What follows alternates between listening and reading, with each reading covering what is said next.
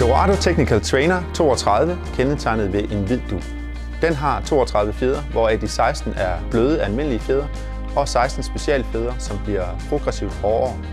Det gør, at øh, trampolinen ændrer karakter.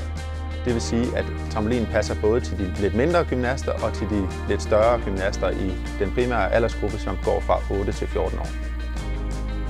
Generelt kan en trampolin ikke blive for blød. Når en trampolin er blød, giver det mere tid til at arbejde med sin afsætsteknik og komme ind i de rigtige afsætspositioner. Er trampolinen for hård, vil det medføre øget rotation og at springet bliver knap så højt.